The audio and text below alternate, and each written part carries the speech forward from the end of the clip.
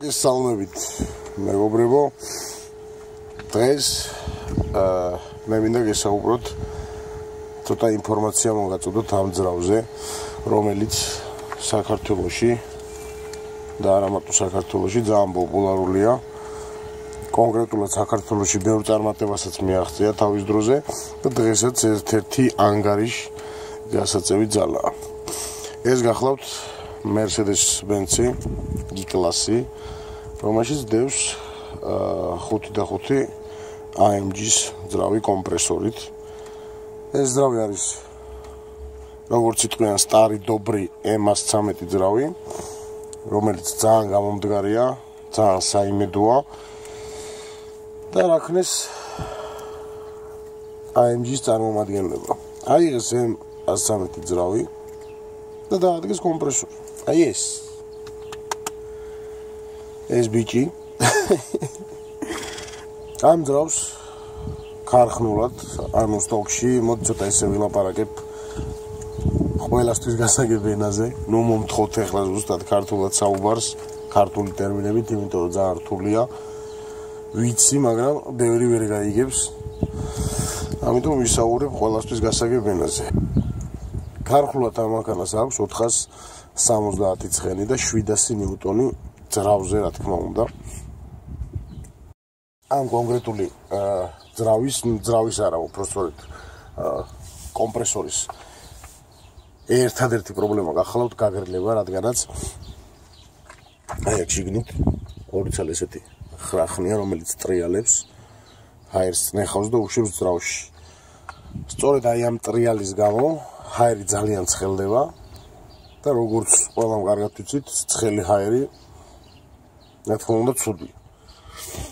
ამიტომაც ამაკანას ესაჭიროება გაგრილება დამატებითი ინტერკულერი, ნუ გააჩნია ცხენებს, ზემოთ და ზემოთ ახვალთ, უფრო მოგიწევთ გაგრილების გაკეთება. ნუ ამ კონკრეტულ მანქანაზე გაგრილება ეს ინტერკულერი აყენია, აყენია დაბლა კიდევ ერთი ინტერკულერი, რომელი ჩანს და იმის უკან თავისი ქარხნული სტოკი ინტერკულერი წაყენია. ანუ სამი ინტერკულერია ამ კონკრეტულ მანქანაზე. ჩვენი მანქანა აა გაკეთებულია, შეცვლილია აი ეს შკევი. ქარხნულად აყენია 91 მმ-იანი, მაგრამ ჩვენ შემთხვევაში აყენია 84 მმ-იანი. ასევე შეცვლილია ქვედა შკევი. აქ არის ერთი პრინციპი. ზედაშკივი ყოველთვის პატარავდება და ქვედაშკივი დიდდება. მე მგონი მარტო იმის ახოთია, იმიტომ რომ კომპრესორი არის პირდაპირ კალენვალზე დამაგრებული, კალენვალის მეშვეობით ტრიალებს ის ხრახნები, შეგეთ რაც არის. ამიტომაც რაც უფრო მეც ტრიალებს, შესაბამისად წნევაც მეტია და ცხენებიც მეტი გვაქვს. ამიტომ ქვედაშკივი დიდდება, ზედაშკივი პატარავდება და მეტი ცხენი მოდის. ასე გამახანაზე გაკეთებულია დროსელი, როსენი არის 84 მმ-იანი დაყენებული. ასევე აღენია კაენდენის ჰაერის ფილტრები, რომელიც ძალიან გამომდგარია, გამოცდილია და მაგარია ესე ვთქვათ. და ასევე გაკეთებული აქვს ბანკანის კომპიუტერს настройка, პრაშივკა, პროგრამირება. და როგორც გინდათ ისე დაარქვით. ამის შედეგად ხო, რა თქმა უნდა კატალიზატორები ამოღებულია მანქანიდან და ამ ყველაფერმა მოგცა ძალიან კაი შედეგი 460 ცხენის აბურავზე. შეგახსენებთ ქარხნულ E55 აქვს ძრავზე 470 ცხენი. ჩვენ ფაქტიურად საბურავზე გვაქვს იმდენივე რაც ქარხნულ ძრავზე. აა ასევე ქარხნულს ძრავზე აქვს 700 ნიუტონ ნიუტონი, ჩვენ კი საბურავზე გვაქვს 800 ნიუტონი.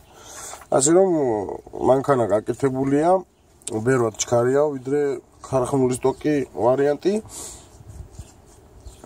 ამიტომაც გაგრილებას დავამატეთ და ამაზე არ ვჩერდებით.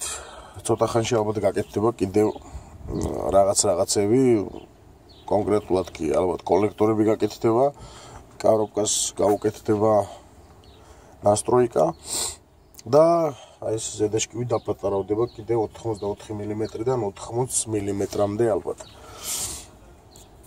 ხო, კიდე რა მინდა ვთქვა? ამანქანის კაროკა საკმაოდ ძველია, ხუთჩქარიანია, მაგრამ ძალიან ძალიან გამომდგარია და ბევრ ცხენს და ბევრ ნიუტონს უძლებს, ბევრ ნიუტონს უძლებს მეგობრებო.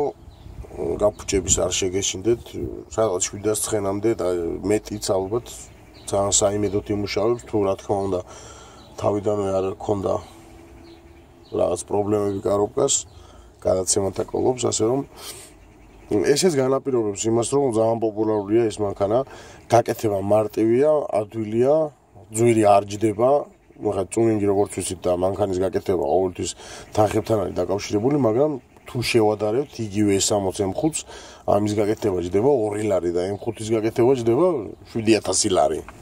აი ხოვა დაახლოებით. აა ამანქანის თავარი მიზანი არის ამანქანაზე უფრო სწორედ აა უნდა ამოვიღოთ საბურავზე 500 ცხენი და საკმარისია 500 ცხენის მერე ამანქანაზე არ გაკეთდება საერთოდ არაფერი რადგანაც ჩემი აზრით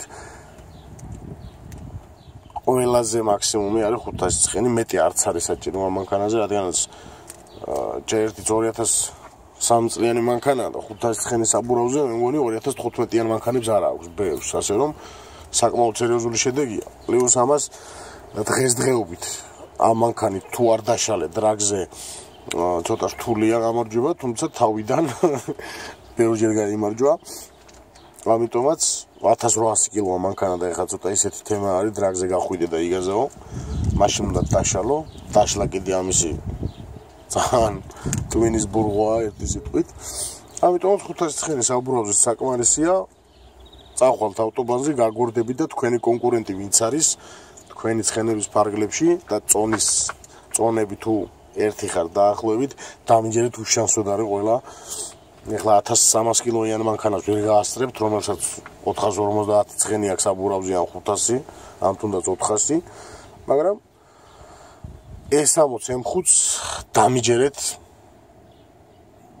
ძალიან გულსადგენთ ну ეს 60 M5-ს 500 ცხენი არ ჭირდება ეკლას საბურავზე რომ გული ატკინოს. ფაქტი ეს მანქანაა. 460 ცხენია და უკვე მე რამდენი ამ ხუთს ეთკინა გული კაცმა არიცის აა როგორც უკვე გითხარით ძალიან გამომდგარი ძრავი არის. ძალიან იშვიათად ბუჭდება იტანს ბევრ დატვირთვებს როგორც ძრავი ისევე გადაცემათა კოლოფი. და პირადად მე ერთ წელზე მეტია უკვე მყავს მანქანა და არანაირი პრობლემა არ შემქვნია სერიოზულ გულისხმობ რა თქმა უნდა დადის მანქანა ყოველდღიურად თან.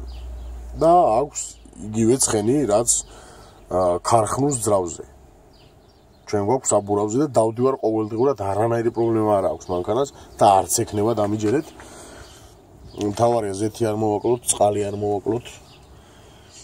ყველაფერი კარგად იქნება. ნუ კონკრეტულად ამ მანქანაში ზეცვას ხავთ 540 სინთეტიკას მობილეს. ძალიან ნორმალური ზეთი არის. ყოველ 4000-ზე მაქსიმუმ 5000-ზე თუ გვიჭირს ცვლით. და დამატებითაც ბევრს არ იმატებს. ძალიან მუშაობს იდეალურად. ყველაფერი აქვს წყობში უბრალოდ ეხლა დისკებს ვღებავ და საბურავები გვაქვს საყიდელი ამიტომ დგას მანქანა ვერ მოძრაობთ. ველოდებით დისკები როდის შეიძლება